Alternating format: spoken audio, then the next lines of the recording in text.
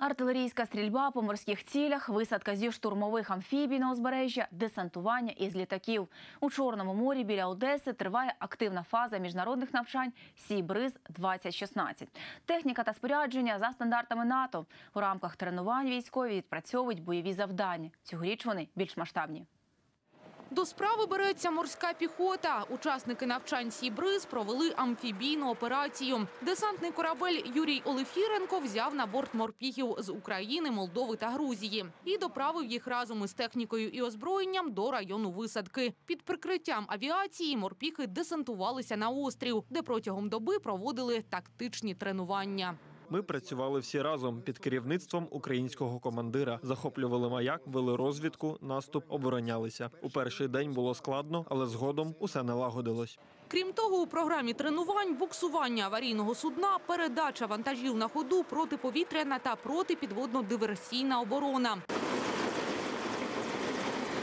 Усі елементи взаємодії відпрацьовували за стандартами НАТО. Всі справились добре.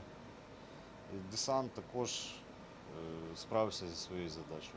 Продемонструвати свою майстерність настала черга і військових водолазів. За легендою, у зоні кризової ситуації висока ймовірність мінування водних шляхів. Міжнародна група водолазів, до складу якої увійшли військові з України, США, Великобританії та Румунії, береться за пошук і знешкодження вибухонебезпечних предметів.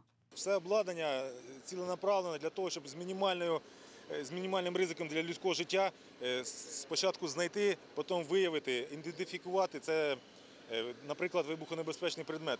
Застосували новітнє підводне обладнання для боротьби з вибухонебезпечними предметами, а саме підводних керованих роботів, антимагнітне спорядження водолазів, локатор бокового огляду та мобільну барокамеру.